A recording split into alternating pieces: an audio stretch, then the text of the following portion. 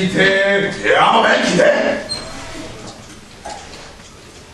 belki de başka biriydi.